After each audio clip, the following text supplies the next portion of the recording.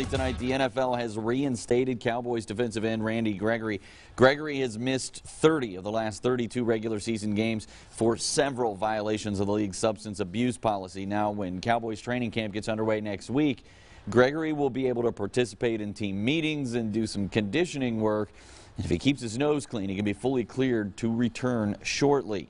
Getting an explosive Gregory back on the field could really help the Cowboys defense this season.